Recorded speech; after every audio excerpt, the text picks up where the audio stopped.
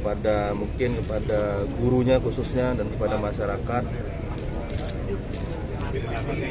Itu saya sudah minta diperiksa semua baik kepala sekolah termasuk gurunya.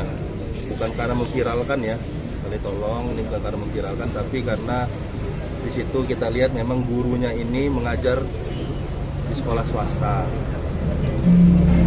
Dia ASN dia mengajar di sekolah negeri di SMP Negeri 15 tapi jarang saya dapat dapat informasinya jarang masuk. Lebih milih ngajar di di SMP swasta. Mungkin niat dari kepala sekolahnya ingin memberikan teguran.